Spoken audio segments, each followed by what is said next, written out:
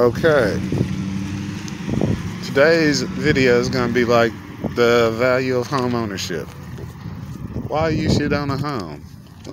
It really depends on where you live and your personal situation. But overall, it is probably the best thing to do. Down this way. Old downtown under reconstruction.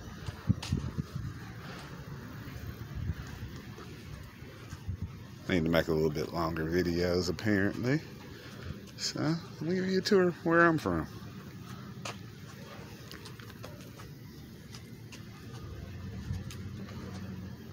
A little bit down this way. Pop's Barbershop.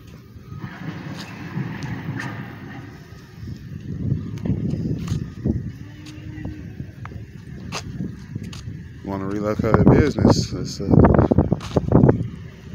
it's under construction around here.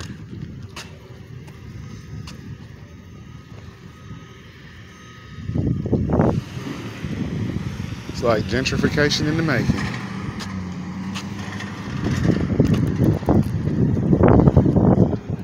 Uh, it's the county jail.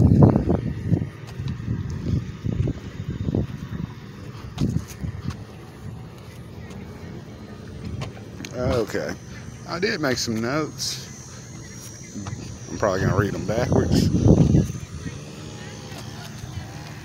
Let me roll on this side. My old rusty truck. But, why you should own a home? Building equity. I'm going to show you the value of equity later. I'm going to insert some uh, screenshots uh, from my home in the beautiful city of Pine Bluff, Arkansas. Long term savings. Paying your mortgage is kind of like a savings account to an extent. Building wealth. Building wealth. Home ownership is like, well, I say real estate is the number one component of building wealth. Well, a big component for most people. Uh, when you own a home, you have a sense of community residential areas that are mainly homes have lower crime rates. Uh, tax deductions. Property tax deductions. I'm actually to do some editing on this video. So, yeah. Okay. Now let's hit the racial aspect of the racial wealth gap. Of uh, why you should probably own a home if you're a minority especially if you're a black minority. The first quarter of 2020, white home ownership was 73.3%. Black home ownership was 44.7%. And for clarification purposes, home ownership does include if you have a mortgage and you're paying on your home, if you don't own your home outright. So the 44.7 means that like roughly 66% of black people are renters. Renting is much more expensive. Much more expensive.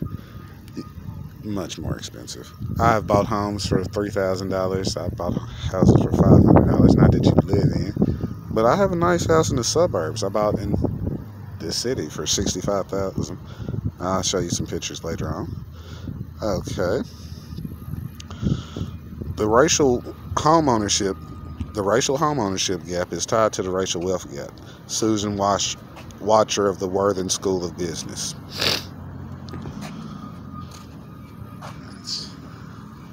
It's something, huh? Now here's a statistic that just really got me. White high school dropouts have a higher home ownership rates than blacks with a college degree. So, black people with a college degree have a lower home ownership slightly than white high school dropouts. The reason for this was because of uh, black people are five times more likely to default on uh, student loans and student loans.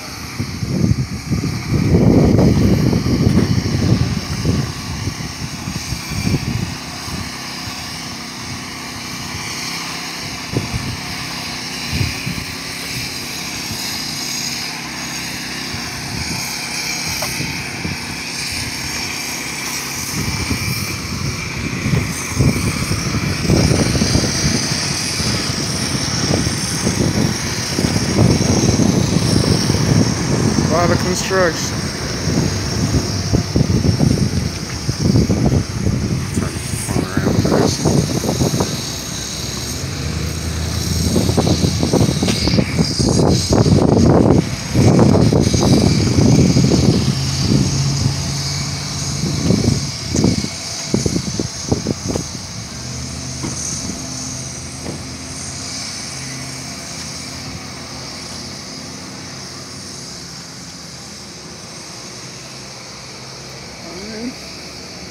that stuff coming. It's coming.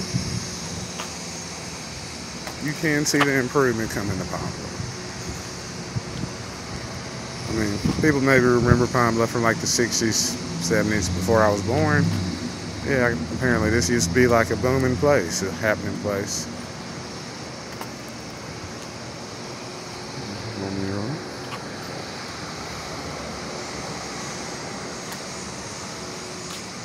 We're cutting the concrete, so I want to really go all the way down to the courthouse. There are some nice shops on the next little block over over here.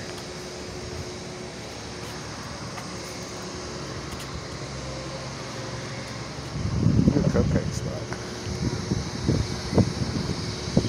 Yeah.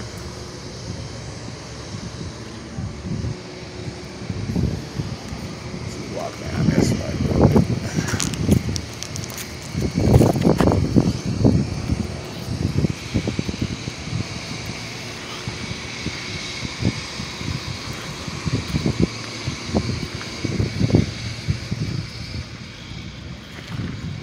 Pine Bluff, I guess, has a reputation for being unsafe, and I guess any place can be unsafe, but it's not that bad. You, you see, like, we don't really even have homeless people or nothing.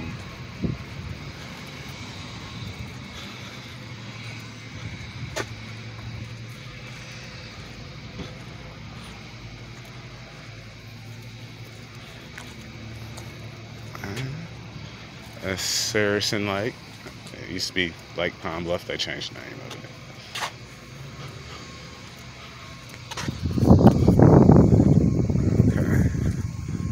it. This building with the sign. This building's been here before Arkansas was even part of the United States. Uh, they used to have an office in there. The sheriffs used to have an office across the street. It's the old courthouse.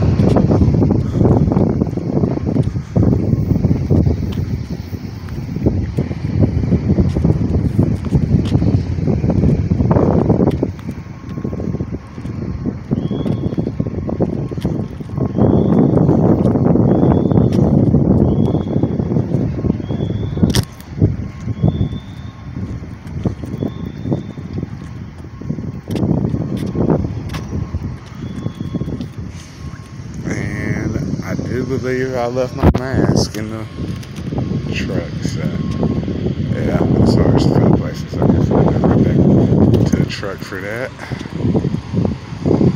I guess I can walk down here and show you like the. This is Barraque Street.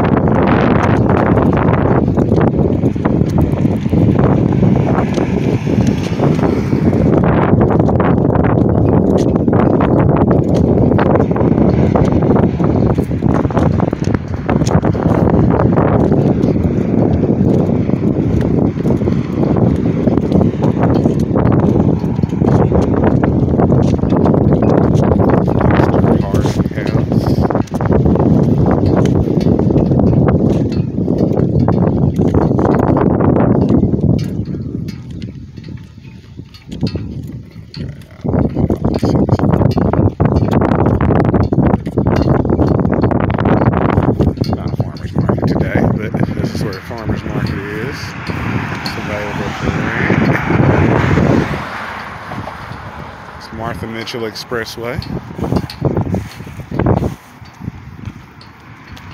Uh, type of one, if you know who Martha Mitchell is, and the significance of Martha Mitchell.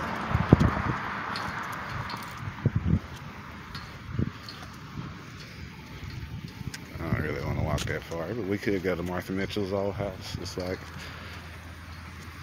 uh, just a few blocks up the street.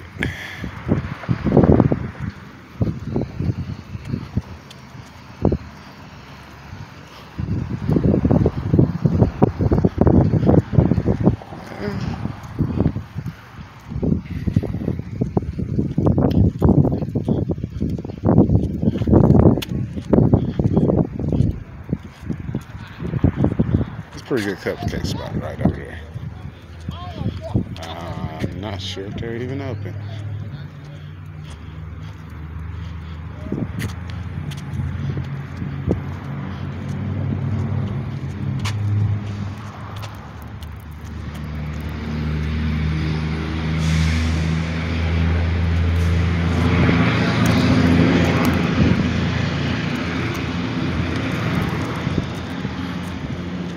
But this is, I'm not going to say one of the oldest cities in the South. I say the oldest, one of the oldest cities west of the Mississippi. Uh, it's one of the only few cities that didn't burn during the Civil War. The Civil War like took place like right there. Oh, shit, I think I stepped on a nail. And then the construction zone. So yeah, I'm pretty sure they have that cleaned up before you get here.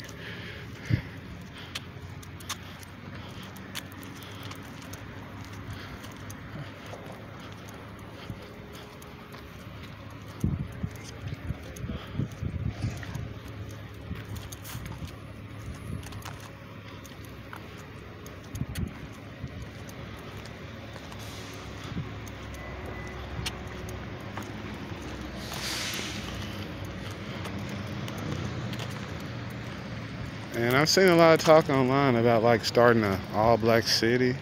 Like Pine Bluff is like it's 75, 80% black, all as is. We have black mayor, black police chief, black superintendents.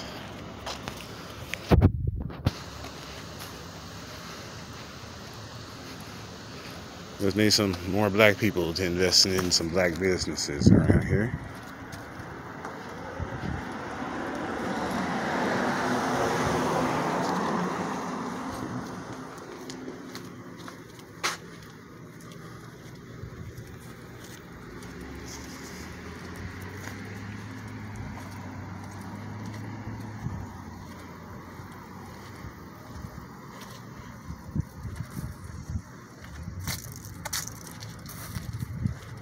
Matter of fact, I'm probably just gonna make a part two video and I'm gonna insert some pictures and screenshots. Let me show you how affordable it would be to live here if this is where you would want to live.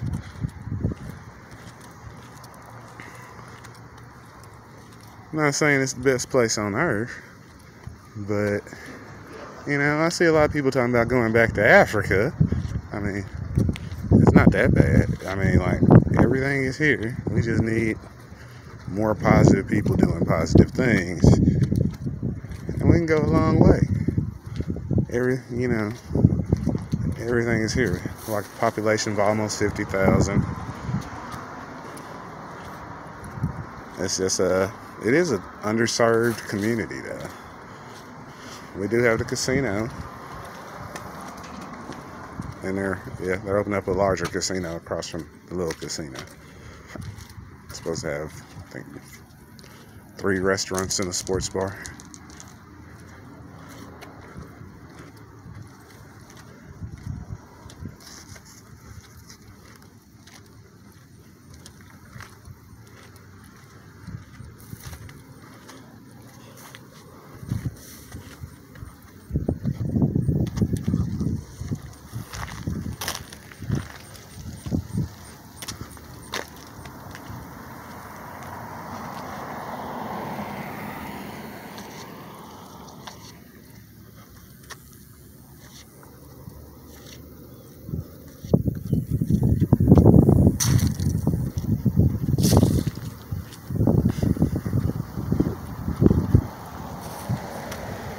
Mean, you gotta look at Pine Bluff like you're getting in on a ground floor opportunity. It's space and opportunity. I mean, I don't know. I don't know if you can tell. At one point, this place really was something. It went into decline. It looks like gentrification is on the way.